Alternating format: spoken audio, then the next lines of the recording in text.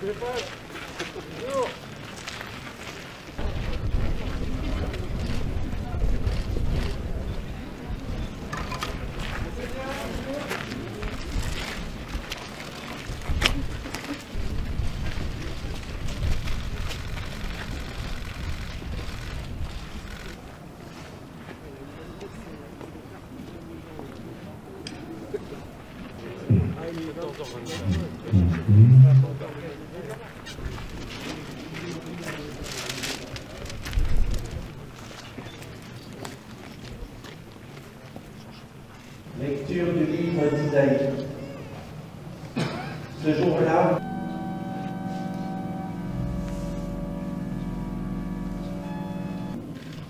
car il nous a sauvés. Parole. De la France. Et il poursuivait l'héritier.